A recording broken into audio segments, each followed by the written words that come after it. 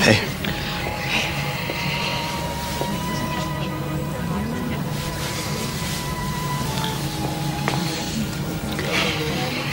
Und was mit dir und Coco hat nicht geklappt?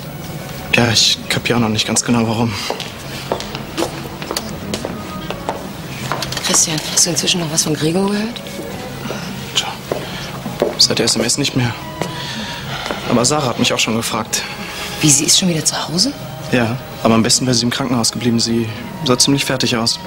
Ja, ist ja auch kein Wunder, sie macht sich total die Vorwürfe. Ja, dazu hat sie auch allen gerund. Hallo, allein wegen Jana. Und wie es Gregor geht, ich will's gar nicht wissen. Ich glaube, beide sind ziemlich am Ende.